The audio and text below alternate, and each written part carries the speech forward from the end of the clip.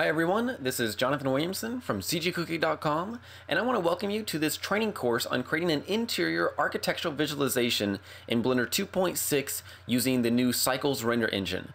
This complete training course for citizen members will take you through all the steps needed to create an interior scene such as the one that you see here with stunning results in a pretty short amount of time.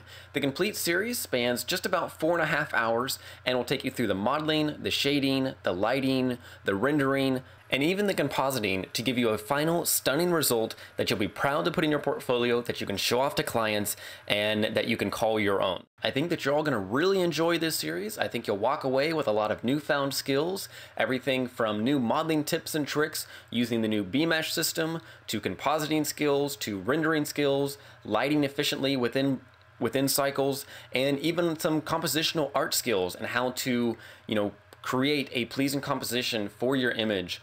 I think that you'll really enjoy the series. I know that I've had an absolute blast creating it. I look forward to hearing your feedback, and more than anything, I look forward to seeing some really good, stunning architectural interior renders from you guys.